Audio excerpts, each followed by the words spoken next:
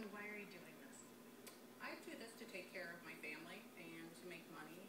Do you think you look beautiful? I think I look like a regular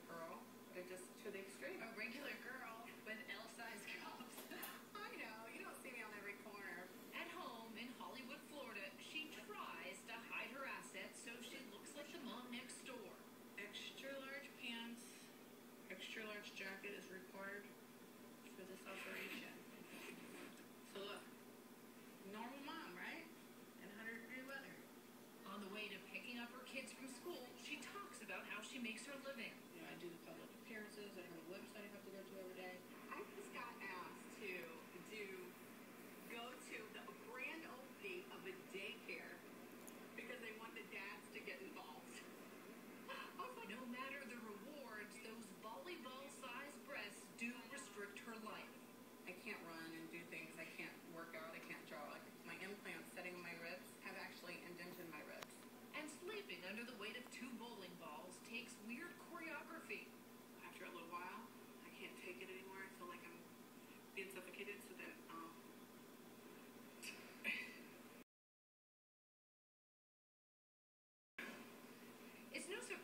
Surprise that she has to custom make her bras, but her breasts are so heavy that her doctor surgically implanted a pigskin corset into her chest to support them. you can feel it. It goes all the way down. It wasn't always this way. Before she was Lacey, she was Paula, just a poor girl from West Virginia. That's the house I grew up in. I slept on the floor. I don't think I'll ever um, be that poor again. She married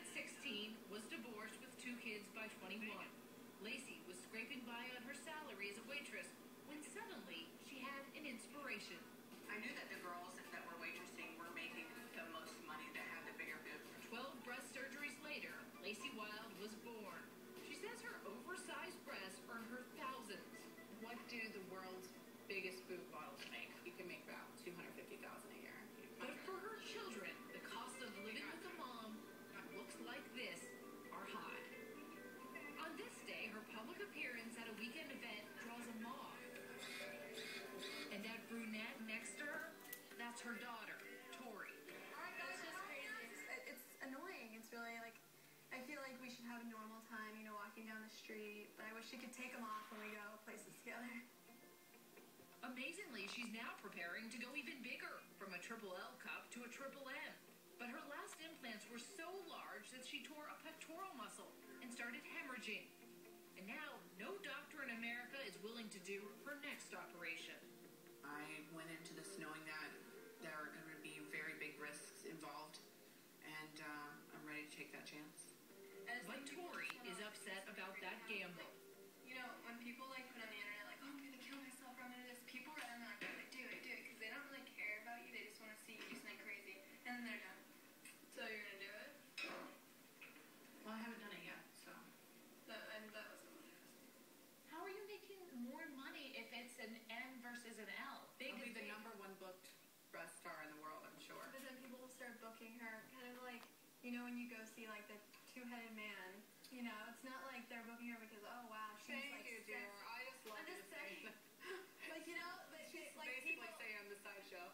I'm not going to do this forever. There will be a day that I do settle down in my little house in the country or whatever, and I take my implants out and I look like I used to, just with gray hair. It's hard to say what really drives the obsession Lacey and Justin have with their bodies. the way this world works,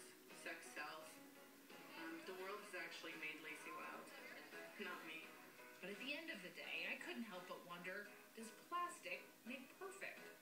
There is no perfect. I, I don't think that there's any real end point. You have to wonder if all this surgery is about making us look better or just about making other people look twice. Next, cinched in, pushed up.